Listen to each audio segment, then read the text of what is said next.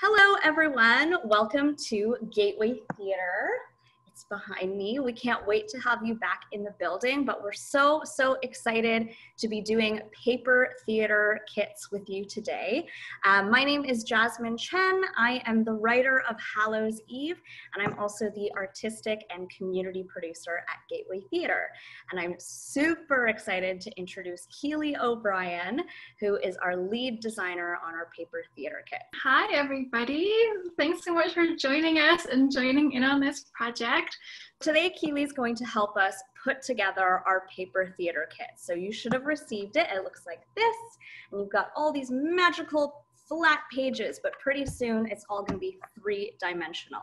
So Keely, what do we need to put this together today? Okay, so we're gonna need our scissors, we're gonna need a glue stick, we're gonna need a ruler, and it would also be a good idea to have an X-Acto knife. And of course, if you're a kid, make sure that you're asking an adult to help you with your X-Acto knife. I don't have an X-Acto knife today, so I will be doing the scissor option. Keely helped us label all of our pages so you can cross-reference the letters on your pages with your instructions. Okay, so the very first thing that we're gonna do is cut out all of our pieces. And you can tell where to cut by looking at where the solid lines are around the outside, outside edge of each piece. And there's also a little scissor icon on your paper so you can see exactly where to cut. So let's jump in. We're gonna start cutting out A and we're gonna work our way all the way through the alphabet. So you'll notice that some of your pieces, specifically A, C, D, E, and H, have slit lines. And maybe Jasmine can hold up hers to show you because hers has it marked really well. Yeah, so they're in this hot pink color. Yeah, so it has a little scissor icon. So we're actually going to cut up into our piece. And you're just gonna cut right up to the end of that line. And it's gonna be like this, open. So we've cut out pretty much everything for our theater you'll notice that some of your pieces have dotted lines. Like for example, these backdrop pieces have dotted lines. So anywhere you see a dotted line, there's also lots of little dotted lines on our little floating set pieces. Anywhere you see a dotted line, that means fold. And when you're folding thick paper like cardstock, it can be really helpful to score before you fold. So scoring means making a dent in your paper using the edge of your scissors or the edge of your X-Acto knife so that it folds more easily at that point. So we're not wanting to cut all the way through, we're just wanting to press gently with our scissors or X-Acto knife to make just a dent in the paper that will be a guide when you go to fold it. So I'm going to do a little scoring demonstration for you here. I'm actually going to just tilt my computer down so you can see my table. Okay, so you're going to take your ruler and line it up with your dotted line. And then if you have an X-Acto knife, that's great. You can also do this with your scissors. So if you're doing it with your scissors, you can just open them like this and then run the pointed edge along like that. You're just kind of pushing down with that edge. Or if you have an X-Acto knife, you're just running the edge of the blade along and you just want to you want to push just hard enough you're making a, a line like you're making a dent but you're not cutting all the way through. Once you have your score it's going to be a lot easier to fold. Fold along that line.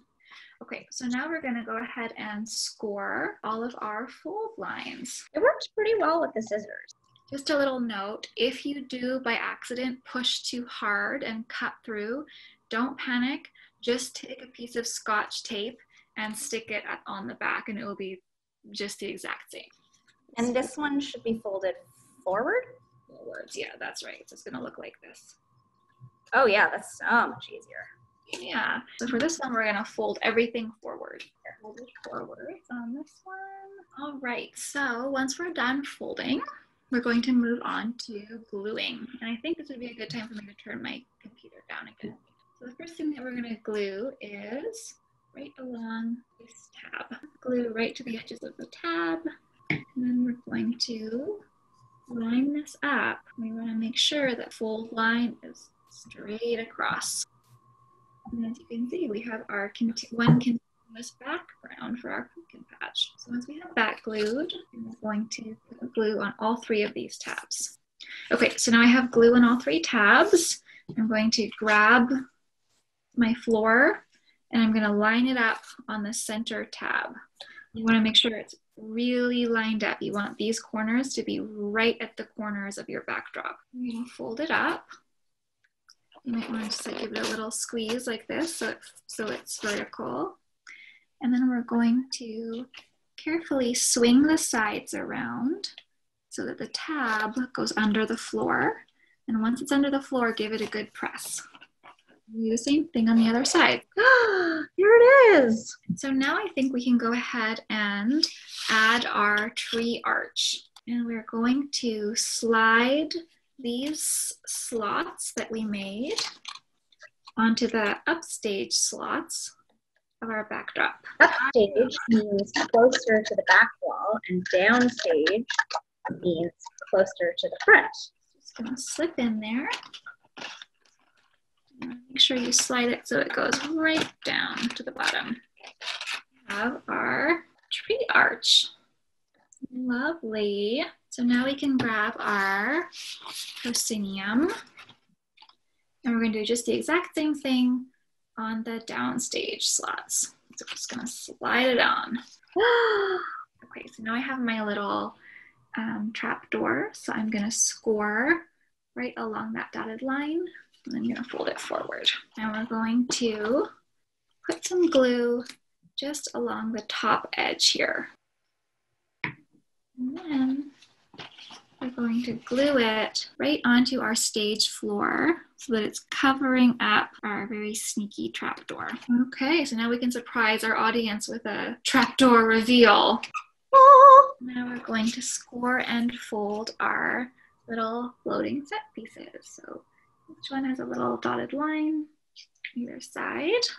So for these, we're gonna fold our tabs back like this and then they should actually just stand up. If yours is tipping over, you may not have cut the bottom perfectly straight. That's the thing that makes it stand up. So now we are going to move on to our puppets. Front and back.